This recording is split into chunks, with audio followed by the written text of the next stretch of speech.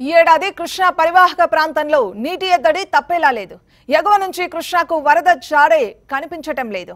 మరోవైపు హోస్పేట్ తుంగభద్ర డ్యాం నుంచి కూడా నీరు విడుదల కాలేదు. దాంతో సుంకేసుల డ్యాంలో నీరు అడుగంటుతోంది. కేసీ కెనాల్ పరిధిలో సాగు సంక్షోభంలో పడింది. ఇక కర్నూలు నగరంలో తాగునీటి కష్టాలు మొదలయ్యాయి.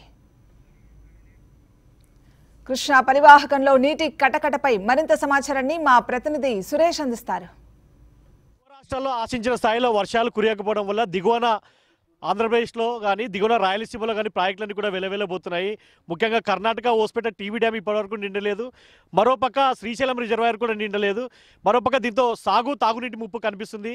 రాయలసీమలోని కర్నూలు జిల్లాలో ముఖ్యంగా తీవ్ర దుర్భిక్ష పరిస్థితులు నెలకొంటాయి అయితే టీడీపీ నేతలు జిల్లా అధ్యక్షులు బీటీ నాయులు అదేవిధంగా రాష్ట్ర కార్యదర్శి సోమశెట్టి వెంకటేశ్వర్లు కోడుమూరు ఇన్ఛార్జ్ ఆకిపోకు ప్రభాకర్ అందరూ కూడా ఎస్ఎస్ ట్యాంకుని పరిశీలించారు. ఏంటి ఏం చెప్పబోతున్నారు దీని మీద? ఏం సార్ ఈరోజు ఆ, చూస్తున్నాం వర్షాలు లేవు అరకొరగా ఉన్నాయి ఎస్ఎస్ ట్యాంకులో నీళ్ళు. అరకొరగా ఈరోజు నీళ్ళు ఉండే లేవంటే ఇలా ప్రజలకు ఒకటే కోరుకుండేది రేపు రాబో రోజుల్లో వర్షాలు ఇప్పుడు చాలా తక్కువ ఉన్నాయి వర్షాలు తక్కువ ఉన్నందువల్ల దీన్ని ముందు చూపు జాగ్రత్తగా ప్రభుత్వం దీన్ని శ్రద్ధ పెట్టకుండా తప్పుదారిపోతూ ఉంది. మేమైతే నిన్న సుంకేసులకు నేను బీటినాడు అందరూ ప్రభాకర్ అందరం పోతే అక్కడ వాటర్ చూడకపోతే ఇసుక దొంగలు ఎక్కువ ఇసుక మాఫియాలు ఎక్కువైనారు. ఎప్పుడైనా సరే నదిలో ఇసుక ఎత్తకూడదు ముందు. సైడ్కి ఎక్కడి నుండి